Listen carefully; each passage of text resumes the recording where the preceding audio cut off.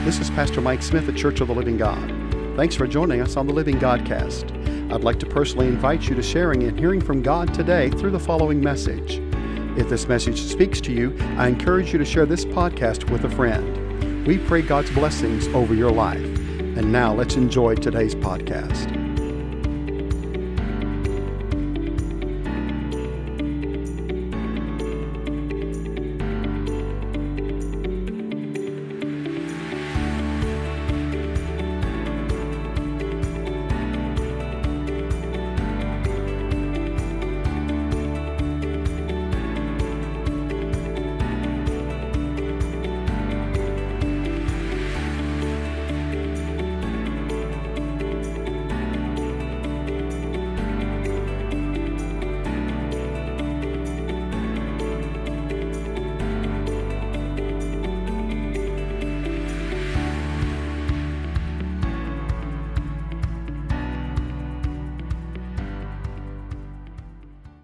Okay, let's go to the book of Acts today. I know this is uh, Palm Sunday, and Palm Sunday is very exciting. Um, if you've ever been to the Middle East or if you've ever been to Africa, you'd understand that it's not all that difficult to get uh, a branch waving parade going on because you can, you can get some of those in, in Africa, in uh, the Middle East.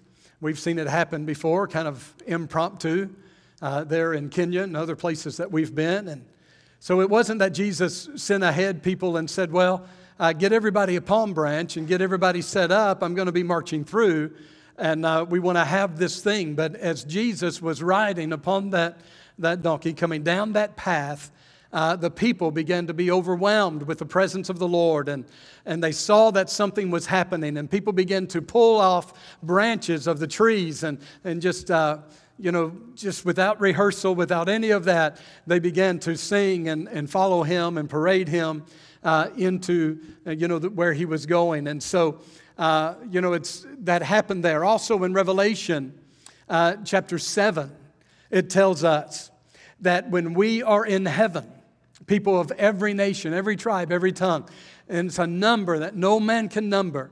Revelation chapter 7 says that we, as a harvest of God, as the children of God brought into that city, that we will be waving palm branches in heaven before God the Father and before Jesus Christ. And so when we're doing this on Palm Sunday, we're remembering what they did and we're looking forward to what we're going to do in heaven. Amen. Isn't that awesome? And so we, we, we, like, we like Palm Sunday around here. So uh, we're glad that you're here to be a part of that. Amen. So, uh, Acts chapter 1, verse 6. And I want to preach a message entitled this morning, The King is Coming. And verse 6 says, When they therefore were come together, they asked of him, Jesus, saying, Lord, will thou at this time restore again the kingdom to Israel?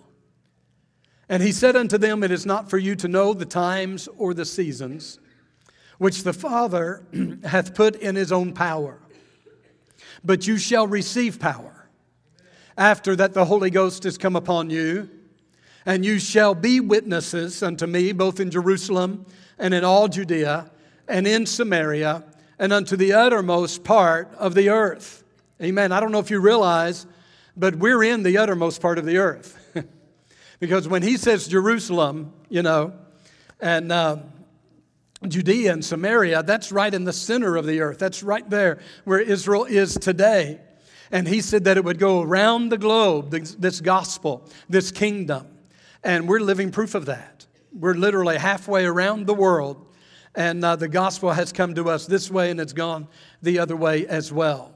Father, we thank you this morning for the Word of God. We thank you for the songs that have been sung. We thank you, Lord, for the dance that has been done, the arms that have been raised, the, the branches that have been waved, to God, that we have uh, worshiped you today. Father, we just pray that you would walk into this house and walk into each and every life and each and every heart today.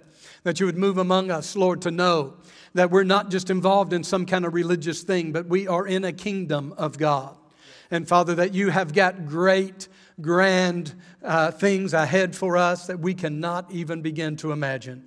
We praise you for it in Jesus' name. Everyone said, Amen. Amen. So they, when they came together, Jesus was about ready to ascend, and, uh, and he was going to go to the Father.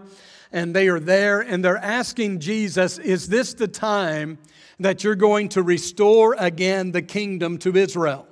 They're referring to Old Testament prophecy that the, the glory of Israel would return, and that even David a resurrected David would be sitting on the throne of Israel again. Now, uh, they're asking, is this the time for the kingdom, the worldwide kingdom, or the impact of Israel to come now in this time? Now, we know because we have the book of Revelation, we have the end of the story uh, that, that will take place, that Jesus will come back uh, from heaven and he's going to sit on the throne over all the kingdoms, and then David will arise and sit on the throne of Israel. So they're asking, according to the old prophets, God, is this the time you're going to restore the kingdom to Israel? And so Jesus said to them this It's not for you to know the times or the seasons which the Father has put in his own power, but you shall receive power after the Holy Ghost has come upon you, and you shall be witnesses unto me both in Jerusalem, in Judea, in Samaria, uh, Samaria, and unto the uttermost part of the earth. He basically was saying this. Uh, it's not for you to know the times or the seasons or the, that what God's put in His own power, but you're going to be included in that power. God's going to pour out His Spirit upon you. He's going to give you power to begin to bring to pass the very thing that you're looking for, that Israel would becoming a nation again. It's going to begin to happen as you take the gospel to the whole world. Amen. And so in Acts chapter 1, verse 9, it goes on and it says this And when he had spoken these things, while they beheld, he was taken up, and a cloud received him out of their sight. And while they looked steadfastly toward heaven as he went up, behold, two men stood by them in white apparel, which also said, Ye men of Galilee, why stand ye gazing up into heaven? This same Jesus which is taken from you into heaven shall so come in like manner as you have seen him go into heaven. Amen. And so, what we believe, of course, is going to happen is that Jesus is going to come again that there's a second coming. And how can you not believe that with scripture like this, right? That this same Jesus that just ascended. Can you imagine? He's talking with them, they're conversing, and then Jesus basically just steps on a cloud and elevates up into heaven. He just begins to float through the air and he's going there. And so the angels come and say, Okay, guys, uh, now that he is gone there, you've got some work to do. Why are you just standing here gazing into heaven? But this same Jesus, he didn't say another Messiah. He didn't say another name. He didn't say there would be a myriad of names, a myriad of ways. He said, No, this same Jesus that just ascended unto the Father will someday descend uh, from the Father, and He will be in the air and He's going to catch us away. We'll see that. And so we see exactly what He is saying as we are approaching Easter this year that Jesus has come, but Jesus will come also that there is a coming of the Lord. In 1 Thessalonians chapter 4 verse 15, he says, "For this we say unto you by the word of the Lord, that we which are alive and remain unto the coming of the Lord shall not prevent them which are asleep." Now the word here for asleep of course is that they were deceased. So he's talking about people that have uh, believed in the Lord. They have had their faith, they have kept their faith throughout their lifetime. Their physical body has died, but their soul and spirit has gone to heaven. And so he tells them uh, that, you know, don't, don't worry about those that have already gone, that we that are alive and we that are remaining unto the coming of the Lord, uh, we're not going to hinder those that have already died. And he goes on and explains more in verse 16. He says, For the Lord himself shall descend from heaven with a shout, with the voice of the archangel, and with the trump of God. That's not the president. And the dead in Christ shall rise first. Amen. Then we which are alive and remain shall be caught up together with them in the clouds, and to meet the Lord in the air, and so shall we ever be with the Lord. And so we see it made very, very clear, even there in the book of Thessalonians, when he said that the Lord Himself is going to descend from heaven with a shout. We know from other scripture that it's going to be such a shout that it's going to sound like a trumpet has been blown around the world, all at the same time. And so it's not an angel coming down from heaven. It's not a prophet coming down from heaven. It's not one of the apostles coming down from heaven, but the one that ascended to the Father is the same one that shall descend from the Father, and that is none less than the Lord Jesus Christ Himself. Amen. I say today to you, the King is coming. Hallelujah. The King is coming. And so, you know, when we talk about the coming of the Lord, it, it immediately puts people in several different categories. Some people are immediately unbelieving. They just say, no, it's never, you know, it hasn't happened yet. You know, I've heard many, many people say, I've heard all my life that Jesus is coming again, and he hasn't come. I just don't guess he's coming. Well, how old are you?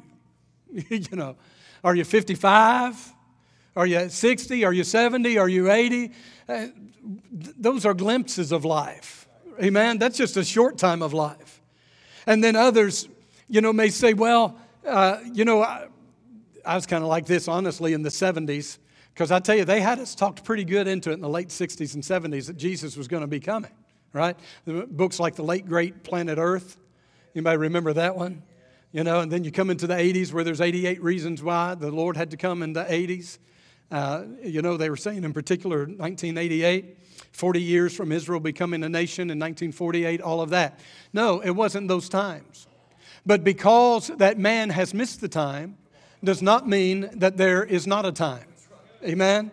Because, brother and sister, he said, You don't know. You don't know the day. You don't know the hour. He said, Nobody's going to write a best selling book and tell you when he's coming. Okay? But when he comes, when he comes, he's going to come. The Lord himself is going to descend from heaven with a shout. I promise you this. You won't have to check with anybody else. Was that the shout of the Lord? Because when He shouts in a moment, in the twinkling of an eye, we're going to be caught up in the air with Him and we will know that the Lord has come. Amen? And the trumpet of God and the dead in Christ shall rise first. So, what we have now, many loved ones, I'm sure everyone here has got loved ones that have already gone to heaven. You were there at the funeral, their body was lowered into the ground, but we know that their soul and spirit is with the Lord. Uh, the Bible says to be absent from the body is to be present with the Lord.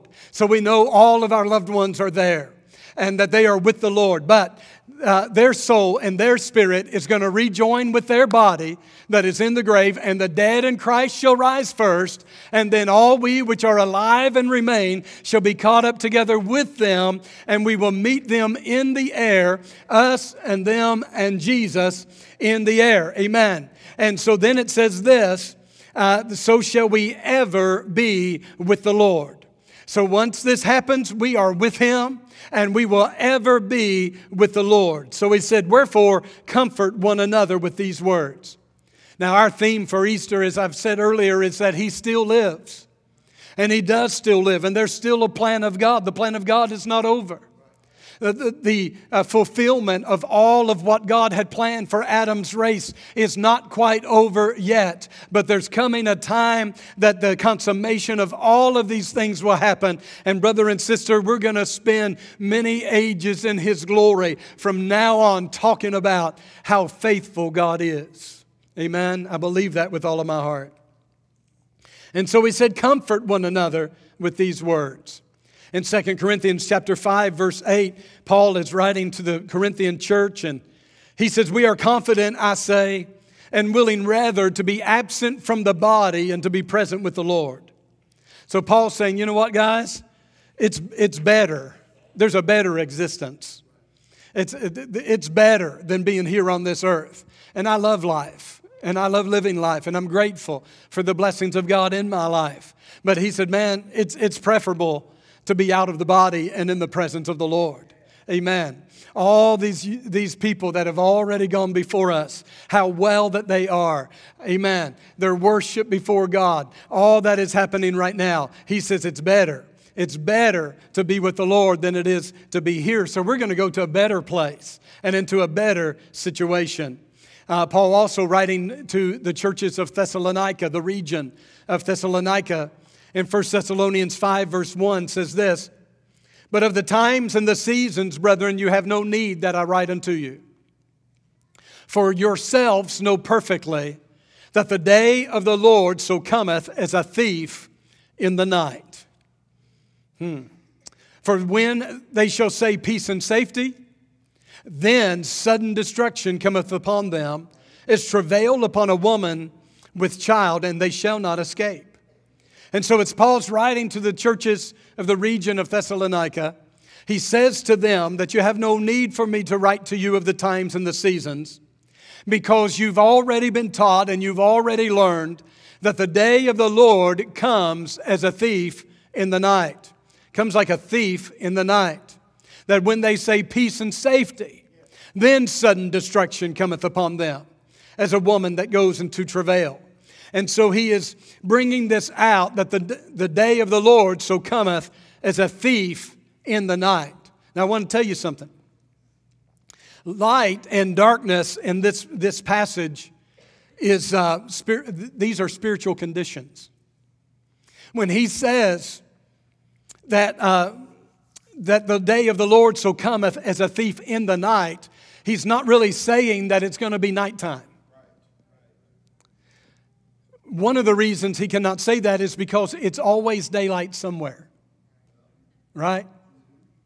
I, have flown many, many miles. I've flown, uh, I've watched the sun take over the shadows of the night as we were in airplanes and watched the light go and watched street lights down. We were coming up Africa uh, over Egypt and places and begin to see the lights going off down there because the light was coming and the darkness was fleeing the light. Amen.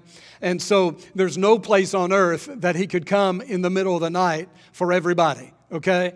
He's not talking about the time of day. He's talking about two spiritual conditions.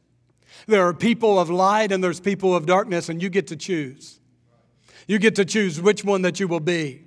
So when he says, For you yourselves know perfectly that the day of the Lord so cometh as a thief in the night, he's saying really that he comes as a thief to those that are of the night, to those people who are of the night.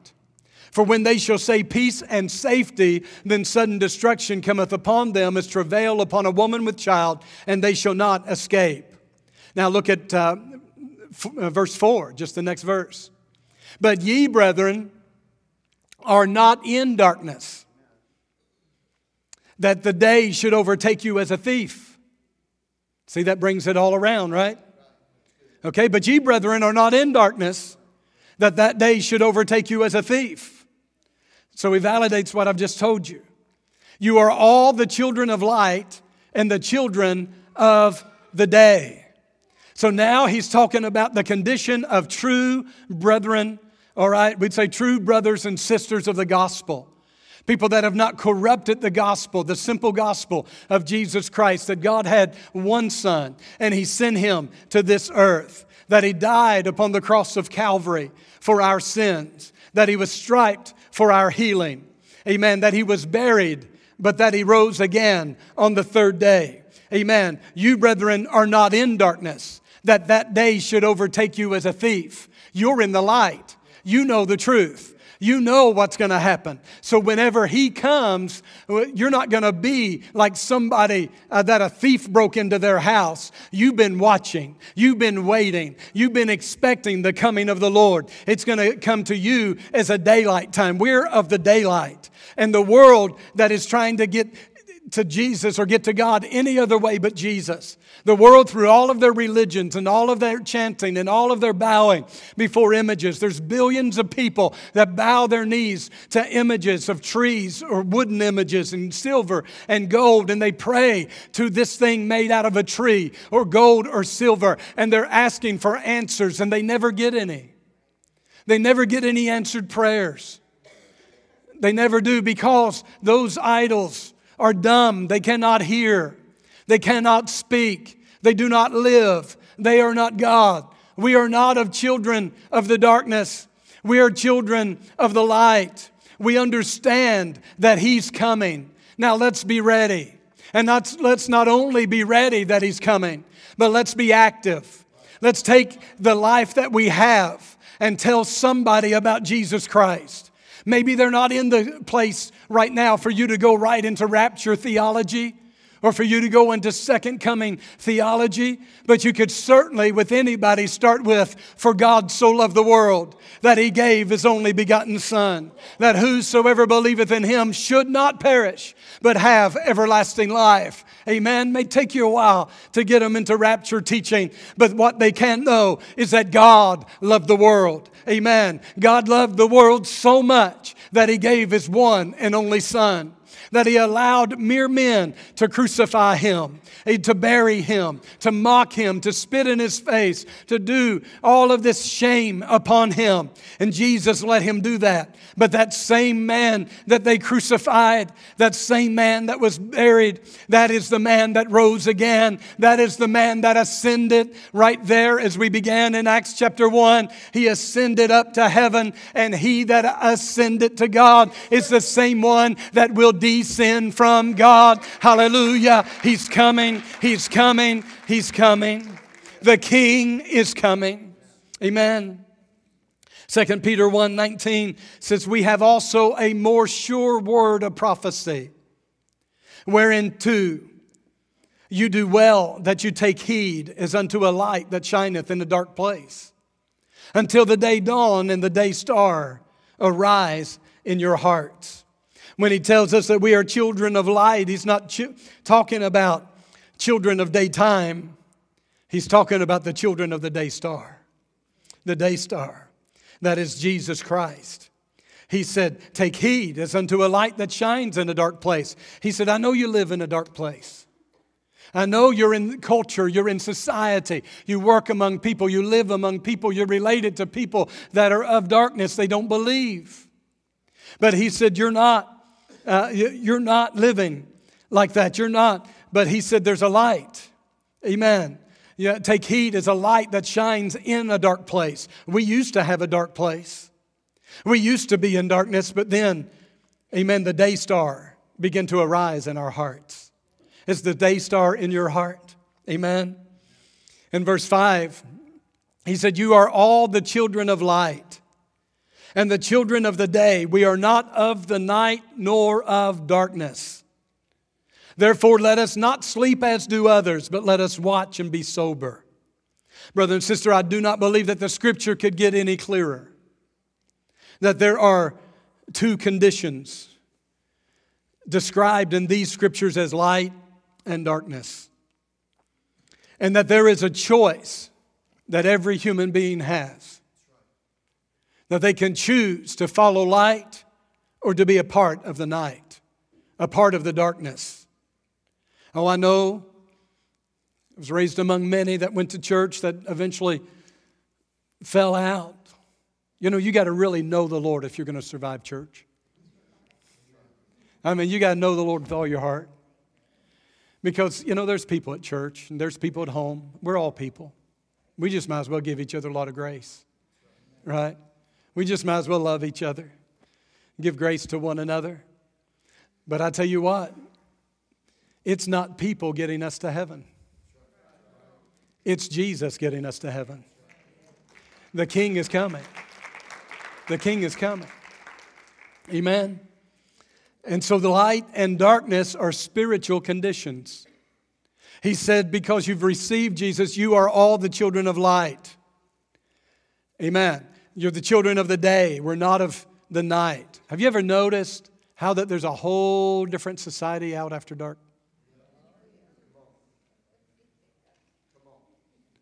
Yeah.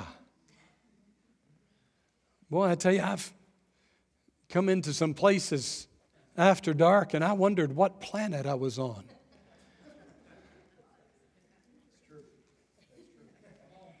I'm just, you know. I'm just saying. But I want you to know God loves those people. Jesus died for those people. His blood is enough to wash away their sins. Amen. He can give them a new name and a new destination and bring them out of night and into the light. Amen. Amen. I know we're coming to Easter and I'm preaching rapture. I'm preaching the second coming of the Lord. That's, that's the next message. After the resurrection, after the ascension, sitting at the right hand of the Father, the next message of the gospel is He's coming back. He's going to return.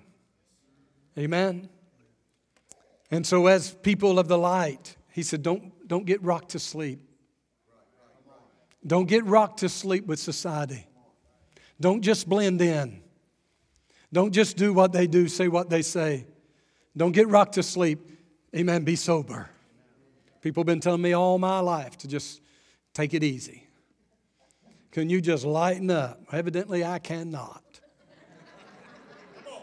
All right? I'm 55 now, and I've just had to finally accept I've, I cannot lighten up. So if you want to talk to God about it, you go ahead. I've already had that conversation, but you go right ahead. I believe with all of my heart that our loved ones that have died in faith are more alive than they've ever been in their lives. I believe they are well and they are happy and they are seeing the King sit on the throne. I believe that they're interceding for us. That's what the book of Romans told us a great cloud of witnesses are praying for us. Amen. I believe it. You're not going to talk me out of it. Amen. I've looked up into the sky and called upon that name, and answers come. Amen. I've prayed for things that only God could do, and they happened. Praise God. Yes, as we come to the truth, He still lives. He still lives. And it's that living Savior that's going to call us home. Amen. Stand with me. Thank you for joining us on the Living Godcast. We hope you've enjoyed the message. For more information, we invite you to check us out online at www.wincitycolg.com or on Facebook. You can also download our app in the Apple App Store or Google Play Store. Just search for Church of the Living God. We hope you have a blessed day.